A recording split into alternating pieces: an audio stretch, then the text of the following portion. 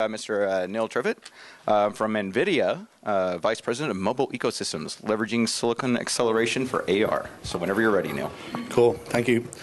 So I'm Neil from NVIDIA, and I have a few minutes to talk to you about the state of the art on mobile silicon and hopefully inspire you because the silicon community has some cool stuff uh, coming, which we hope will let you guys create the next generation of uh, AR experiences.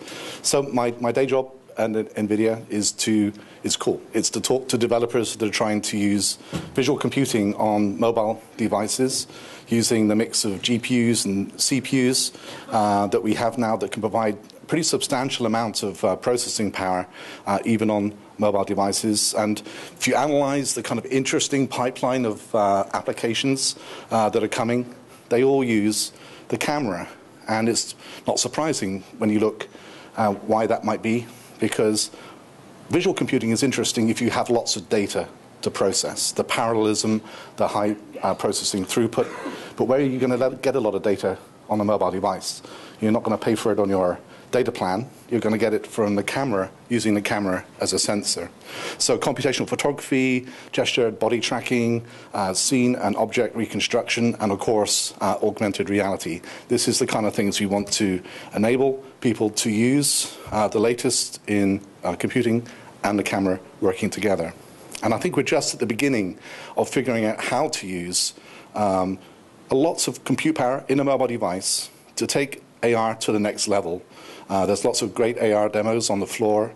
Uh, this is actually a video from ISMAR about 18 months ago, actually, that's doing way more than just the normal SLAM tracking and kind of the billboard augmentations, uh, doing ray casting into the scene, modeling translucent and transparent objects, modeling the reflections and refractions uh, through the scene, uh, high quality anti-aliasing. Now this is currently running on a laptop. So we're not quite there on mobile, but this is the kind of thing that we want to aim towards. And hopefully, after the next few minutes, next few slides, you'll begin to understand we're actually getting quite close to enabling this quality and this functionality even on mobile uh, devices. So I'm going to use, I'm trying hard not to make this a marketing pitch, but I'm allowed to talk about the chips from NVIDIA, so that's what I'm going to, to talk about, but hopefully extrapolate out into what's happening into the industry uh, in general. Uh, the, NVIDIA's latest chip is called the uh, K1, the Tegra K1. Uh, it's a system on a chip because it has CPUs, GPUs, and a whole bunch of other circuitry that really means it's a complete computer on a single, single die. Uh, we have two versions, 32-bit CPU, 64-bit CPU is coming before the end of the year. So if you're wanting to use more than four gigabytes of memory, that limit is soon going to be shattered on mobile platforms as it was on PCs quite a long time ago. The key thing, as well as the CPUs, uh, we have desktop class GPUs now coming to mobile. In the NVIDIA roadmap, it's the Kepler GPU.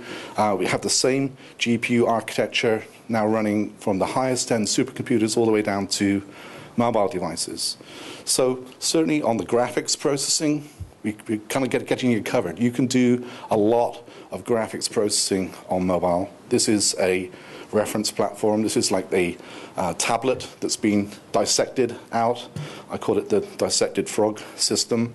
Um, but we're running a high-end uh, graphics demonstration that used to need, need uh, 1.5 kilowatt PC with a high-end Titan graphics board. We created a mobile version of that same uh, demonstration. There are some simplifications. Uh, the resolution is slightly slower. The frame rate is only 30 hertz rather than 120 hertz. But the functionality, the core functionality, is still there. We're creating lifelike uh, facial animation in this case. There's a lot of graphics performance a lot of graphics functionality and flexibility that you've been used to perhaps on desktop PCs that are now going to be available on these mobile devices. So for the augmented reality folks here, this means if you're perhaps doing um, complex augmentations with Unreal Engine or Unity, I've seen lots of use of Unity on the floor, you're going to be able to do lots of cool graphics and it's not going to take so much of your GPU as it used to so you're going to have more of the system left over for doing your vision and tracking and the rest of your application processing. So I mentioned Tegra is a system on a chip. all of the, the chips that have been sold into the mobile space are systems on a chip. It's really everything you need to run a complete uh, operating system. There are a number of blocks that are relevant to the vision processing part of augmented uh, reality, because of course, augmented reality is input as well as output. Um, we have dual image processors. Uh, we have the GPU, of course, that we can use for imaging. Uh, the video processor, normally it's an output processor. Uh, processing HD uh, video, we can use that for doing things like motion estimation. The nice thing about mobile SoCs as compared to PCs is that we have unified memory. We don't have a PCI Express bus that are separating uh, the CPU and GPU and the memory. So you can route data much more easily in a mobile system than you can on a traditional desktop. And this is showing how uh, on Integra, for example, we can bring multiple cameras, we can dump the images into unified memory. That memory then can then be accessed and processed by uh, dual ISPs, by the video processor, by the CPUs, and the GPUs. You still have to be careful to use the APIs, not to screw it up, because you can allocate stuff that makes it hard for the software to know what you're trying to do. But if you're careful, you can begin to process memory and images coming from the camera with all these different processors with very little data movement and data copying. So the Kepler uh, GPU I mentioned is the same now GPU architecture all the way from the high-end Tesla products, which are the boards that go into supercomputers, down through G, um, Quadro workstations, GeForce graphics cards, and now uh, Tegra-based mobile SoCs. And in all of those markets, power efficiency is the key.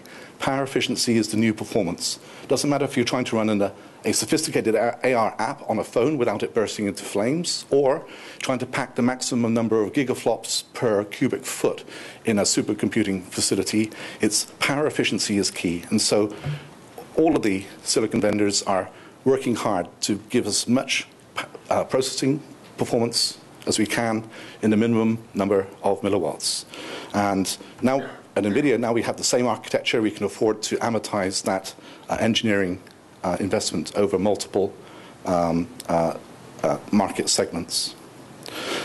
Vision processing, power efficiency in particular, is really the key. And I think the main challenge that we have as a silicon community trying to serve the AR community, because we've just started on our vision processing odyssey.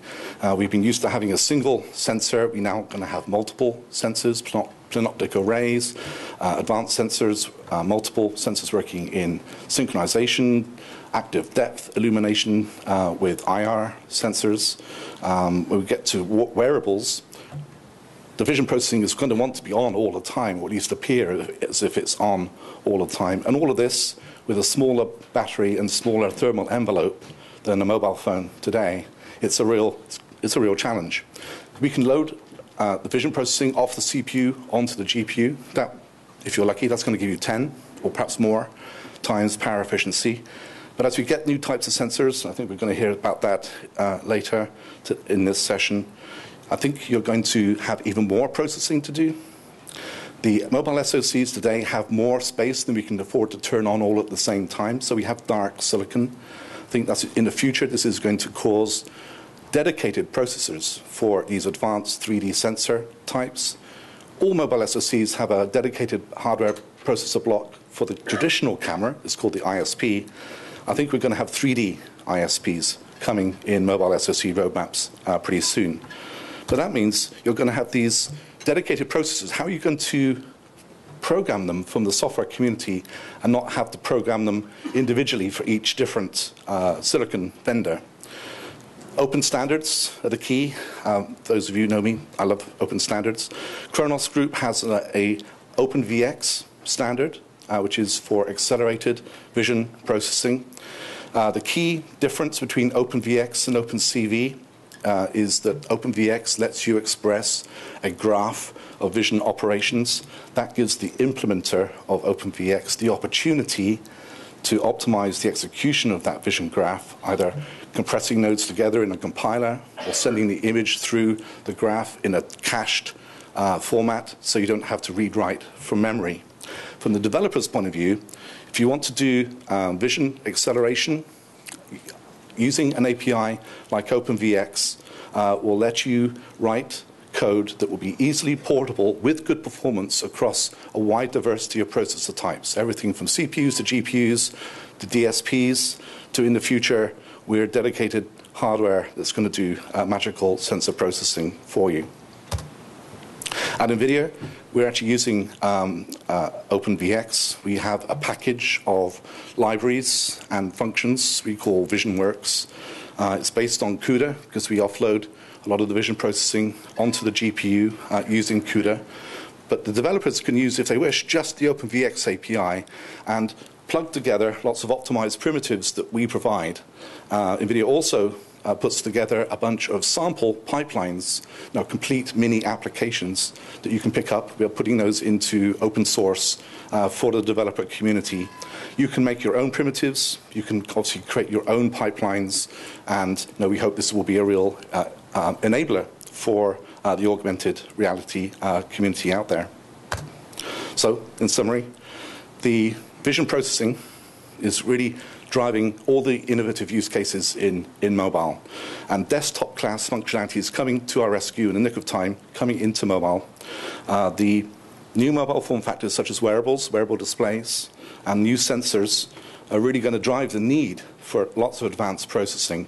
And we have had graphics APIs, we're now going to have vision APIs to let the developer community access that hardware. Thank you.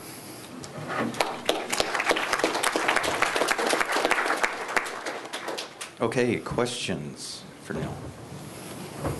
Ah.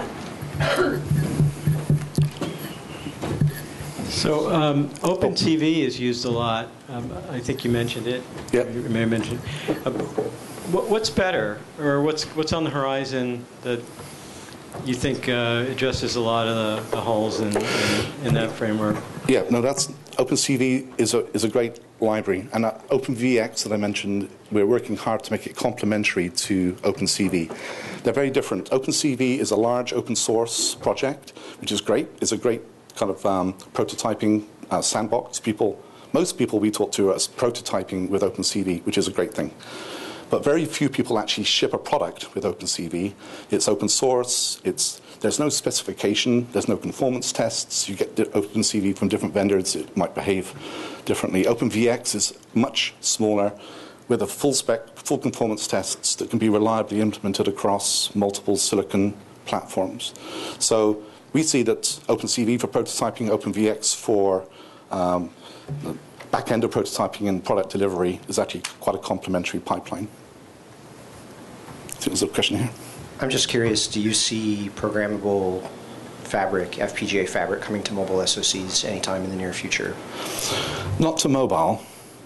Um, I don't think the economics quite work out for FPGAs, but um, FPGAs definitely have market segments where they're ideally suited for, and uh, APIs like OpenCL uh, are now uh, being used. The backends for FPGAs, Altera and Xilinx are working on that kinds of stuff. Um, so for um, like um, head stations in mobile industry, no, actually in, in the tower rather than the device, um, there are definitely applications for FPGAs that are using things like OpenCL. But for mobile, the power and the costs I don't think would work out typically. Okay, and we're just going to limit it to those two questions because uh, we have to end at 5:15 sharp. So thank you, Neil. Um, and